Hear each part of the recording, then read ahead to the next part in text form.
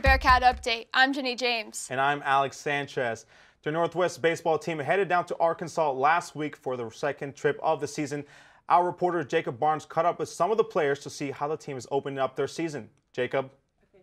The Northwest baseball team is back in the swing of things. I caught up with redshirt senior Mondesi Gutierrez and redshirt sophomore Aaron Easley to talk about their season so far. So far this year we're just young, a little bit inexperienced. We only have a few seniors starting in the field. Pitching wise, we're pretty young, but right now we're uh, coming together after that first week. We started off the year two and five. Uh, our offense has really been coming around. Uh, we're swinging the bats well. We scored a lot of runs. Uh, what we learned from that two and five that uh, we can handle any team. We just beat the number 13 team in the nation, uh, which was huge. And uh, every game we lost, besides one of them, is by one or two runs. So we can compete with anybody. When asked about their goals for themselves and for the team, here's what they had to say. Personally, uh, I was looking to improve on like my, just my all-around game, I guess. Uh, being a consistent hitter, being consistent behind the plate and catching. Uh, I just want to be a leader this year. I'm a senior, 23 years old. Been playing this game a long time. I just want to show the freshmen how to play the game right, hard, all the time. And uh, personally, I want to be on first or second team rather than an honorable mention. After bringing in a conference title last spring, Mondesi and Aaron reflect on the differences between their 2018 team and this year's group of guys and talk about their hopes of going even further this time around. Uh, last year's team just had more, uh, more age. They were more mature.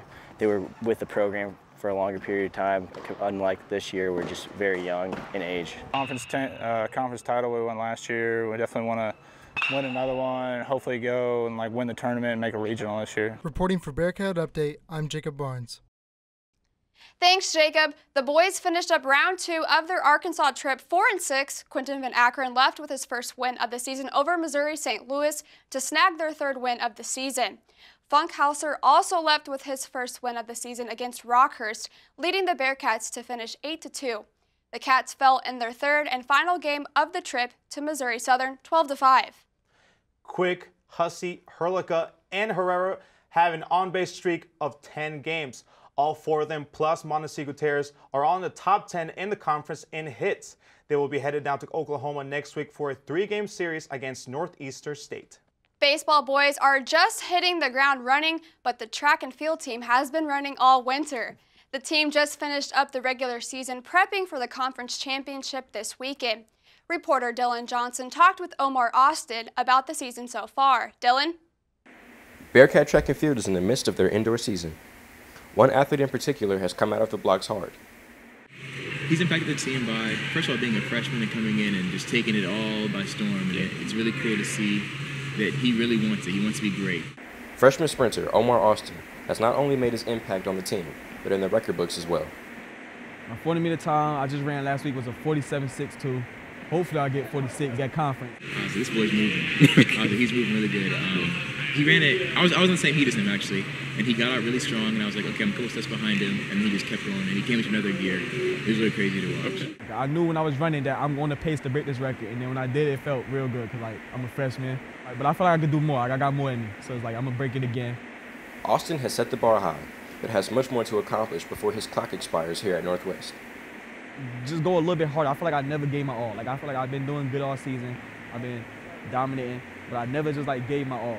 And I feel like this week, next week coming up, I'm just gonna get my all. Stay in it and keep working hard because he can he can be great. But an MIAA championship is not where Austin was to cross his finish line. I want to go to the NCAA national championship. I want to go there and I want to place top eight. I want to be first team All American. I want to plaque and basically I just want to break a record out. Like I want to do something I never did before, and that's is in my reach. Reporting for Bearcat Update, I'm Dylan Johnson. Thanks, Dylan. They wrapped up the regular season at Kansas State this weekend. Jordan Hammond and Heba Magoob taking first and second in the 400 meter dash. The 4x4 also taking first. Aliyah Lee took second in the 60 meter dash. Sassy Matson placed third in the 800 and Caroline fifth.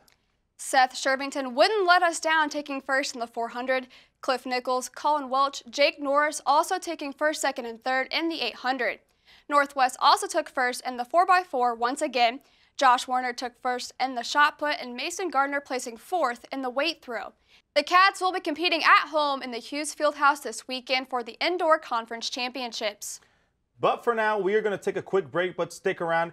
We're not quite done talking about track and field just yet. You're watching Bearcat Update on KNWT Channel 8.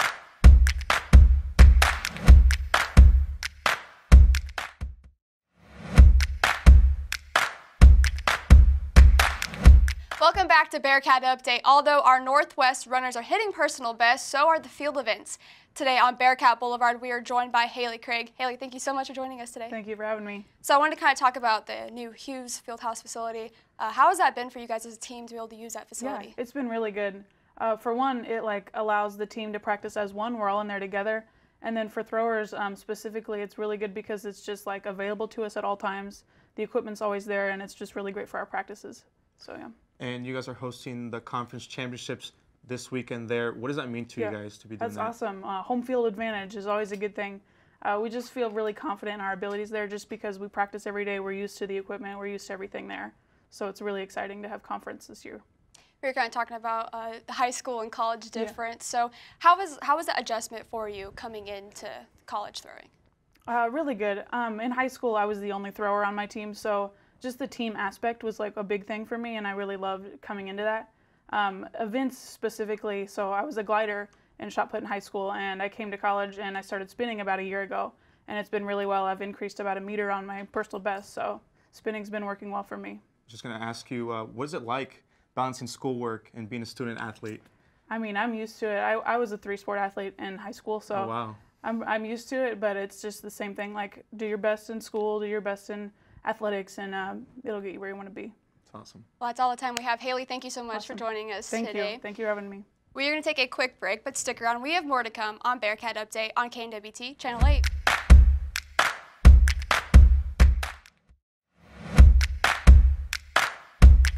Welcome back to Bearcat Update. Our Northwest basketball teams were back in action this weekend. Our women's team took on the 2018 national champions on Wednesday. After a slow start, they closed the 17 2 gap, 233 29 at half. In the second half, the Cats were within four, but couldn't keep it up and fell to the Jennies 78 67. Kendi Eaton scored a career high of 37 points, which is tied for third in Northwest history, four points in a game. The Cats took the court again on Saturday to take on Southwest Baptist. Candy Eaton with 20 points and Mallory McConkey with 14 would not hold up. The Cats fell to Southwest Baptist Bearcats 73 to 54. The men's basketball team had the same competition this past week. Let's take a look at the highlights of the Central Missouri game. Diego Bernard drives to the hoop and hits Welty with a no-look pass for three to put Northwest up early. Trevor Hudgens adds to the mix, finishing a crafty double clutch layup to keep the Bearcats in the game.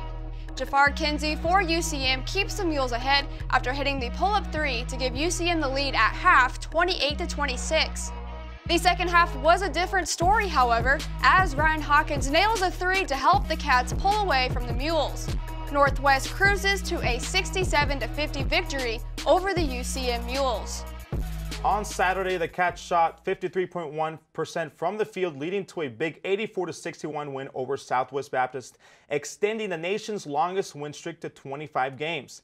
They take on the Mules again this Thursday, and with a win, they will lock up a share of the conference title. The Cats hold the last five conference titles and are looking to add another one to the list. One of our Northwest Bearcats is paving the way for the team to postseason play. Our BCU analyst walked 94 feet with redshirt freshman Trevor Hudgens. Let's see what he has to say. John? Thanks, guys. Down the court here with Trevor Hudgens. So, Trevor, we'll just jump straight into it. You guys are 24 and 0 at this point and kind of heading down the home stretch of your season. You guys knew that obviously you were going to be pretty good coming into the year. Did you think you would be this good? Um, I think we got a lot of stuff to work on uh, still. Even at this point? Yeah, for sure. Um, uh, coming to postseason, I think uh, we still have to regroup and uh, still work on a couple things. And then, you know, you guys have lived by the three point line this year. Well, that's what, been one of your strengths. Roughly 43% as a team. If you had to pick one person on the team to shoot a game winning shot, who is it? Joey Withers. Joey? Yeah. And then you compare Joey to James Harden. If you had to compare yourself to an NBA player, who would it be? Ooh, that's a tough one. Um, I've heard Mike Conley. I've heard Chauncey Billups. Um, that's about it. That's about it? I, I, uh, yeah, I can't really take one off the top of the head. So there you have it, the Mike Conley of Northwest Missouri State University. Alex, Jenny, back to you guys. Thanks, John. Now Hudgens is on his way to setting a new conference record. He currently has made 33 consecutive free throws of which the current conference record is 36. If he can keep up, he has several more games to try and grab the record. Our softball girls were back in Arkansas this week weekend finishing up the Arkansas Monticello tournament. On Saturday, they dropped game one to Upper Iowa 5-1. The Cats again came up short in game two against Minnesota State Mankato. Caitlin Wise hit a two-run home run to put the Bearcats up 2-0. Aaron Keeney with another homer followed by some nice hitting from the rest of the team to put the Cats up 6-2. They could not hang on although and dropped the game to 8 to 7. The next day, the girls played two more games. Sunday, they took the morning game from Parkside 6-0, but dropped the game against Rogers State. They come back home with a 2-4 record. They will be heading to Kansas this weekend for the Emporia tournament to compete in six more games. Now that's the end of our show, but first let's take a look at our top picks for the week. Our Northwest track and field team is having a great season and has one more meet to finish indoor. There's nothing better than to have the conference championship right here at our very own Hughes Fieldhouse. Absolutely. The men's and women's tennis teams will be kicking off their season against Maryville University and Red Oak, Iowa. A lot of eyes will be looking at Franco Oliva after his third place finish at Nationals in the fall. Thanks for tuning in to this week's episode of Bearcat Update. You can follow us on Twitter at Bearcat Update underscore 8. Or watch all of our previous episodes on YouTube at KNWT8. Thanks for watching and have a great night.